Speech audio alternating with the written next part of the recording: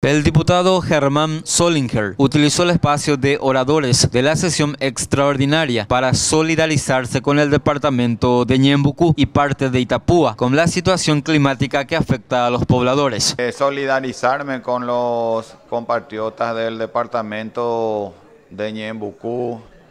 y también parte del departamento de Itapúa y, y toda la zona donde están pasando eh, situaciones muy difíciles, ¿verdad? Por las cuestiones climáticas,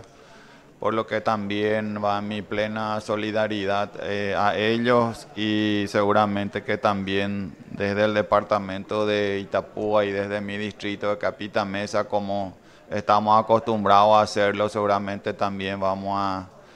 eh, de alguna manera hacer llegar